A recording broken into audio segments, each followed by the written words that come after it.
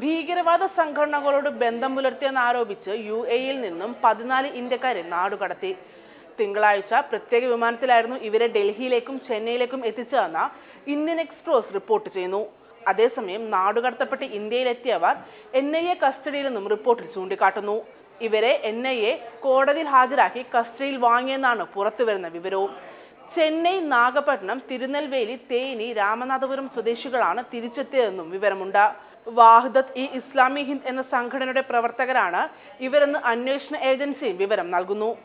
U A E രഹസ്യാന്വേഷണ വിഭാഗത്തിന് ലഭിച്ച തെളിവുകളുടെ അടിസ്ഥാനത്തിലായിരുന്നു നാടുകടത്തൽ നടപടിയും. ഭീകര സംഘത്തിനോട് അനുഭവം പുലർത്തുന്ന തമിഴ്നാട്ടിലെ വ്യക്തികളോട് ഇവർ അനുഭവം പുലർത്തിയെന്നായിരുന്നു കണ്ടെത്തലുകളും. അൻസാറുള്ളയുമായി ബന്ധപ്പെട്ട സംഘടനയുമായാണ് ഇവർക്ക് ബന്ധമുള്ളതെന്ന് എൻ ഐ എ വിലയിരുത്തുന്നുമുണ്ട്. അൻസാറുള്ളയുമായി ബന്ധമുണ്ടെന്ന് കരുതുന്ന മൂന്ന് പേരുമായി ബന്ധപ്പെട്ട തമിഴ്നാട്ടിലെ കേന്ദ്രങ്ങളിൽ ശനിയാഴ്ച എൻ ഐ എ പരിശോധനയും നടത്തിയിരുന്നു. ചെന്നൈ സ്വദേശിയും വാഹദത്ത് ഇ ഇസ്ലാമി ഹിന്ദ് പ്രസിഡന്റുമായ സയ്യിദ് ബുഖാരിയുമായി ബന്ധപ്പെട്ട കേന്ദ്രങ്ങളിലും പരിശോധന നടന്നിരുന്നു. സംഭവത്തിന് പിന്നാലെ ഹസൻ അലി എന്ന വ്യക്തിയെ കസ്റ്റഡിയിലെടുത്തതായും റിപ്പോർട്ടുകൾ സൂചിപ്പിക്കുന്നു. ഇതിന് പിന്നാലെയാണ് യു എയിൽ നിന്ന് നാടുകടത്തിയവരെ N I A കസ്റ്റഡിയിലെടുത്തതും. Web desk Kairali news.